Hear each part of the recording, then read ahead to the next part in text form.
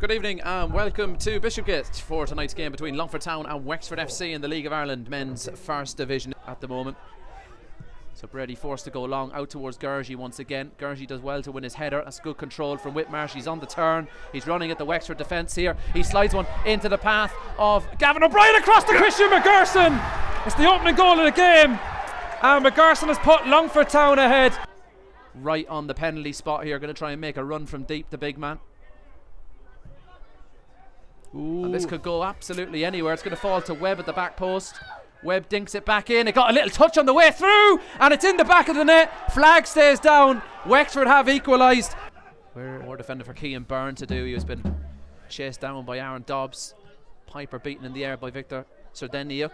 McGerson can't take it down, but Whitmarsh with a lovely flick around the corner for James Doona, who just leaves the ball behind himself. Here's McGerson, jumps over Reese Webb as if he's a hurdle. McGerson. Low ball into Gergie. There's Whitmarsh. 2 1 to Longford. Playing like a man beyond his years, Kean Byrne, this season. Not easy to come into a new team that are struggling towards the foot of the division and make such an impact. And again, it's Byrne that's gone down off the ball here. And the referee's going to stop it for a head injury. And uh, the referee's going to his back pocket here.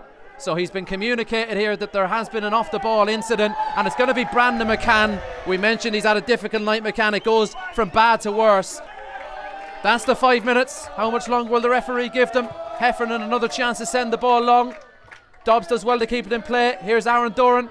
Doran though loses his footing, but Dobbs has it again. Plays off to Livingston. Livingston with the cross. Walsh deals with it initially. It's not clear yet. Crawford Offside. Dobbs unmarked at the back post on the volley, but the flag was up, and that is surely all she wrote for Wexford. And there is the final whistle. It's been a long time coming, but Longford Town have finally got another three points this season. They'll climb up to eighth in the table now above Finn Harps. And with the transfer window set to open this evening, Longford Town hopefully can get some business done and launch an assault on those playoff places.